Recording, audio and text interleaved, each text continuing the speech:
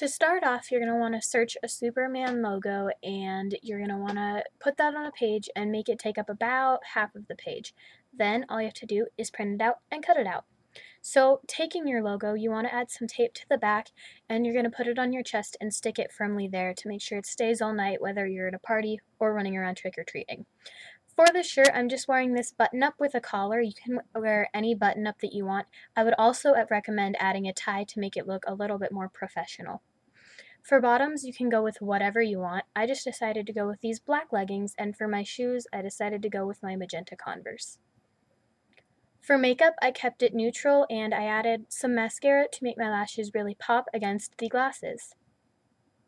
Speaking of, the last step is glasses because Clark Kent wears glasses. I'm just wearing these black nerd glasses with no lenses in them. So now you're ready to save the world, and this is also perfect if you wanted to be Superman but didn't have a chance to get the costume. Thanks for watching, and I'll see you guys in my next video. Bye.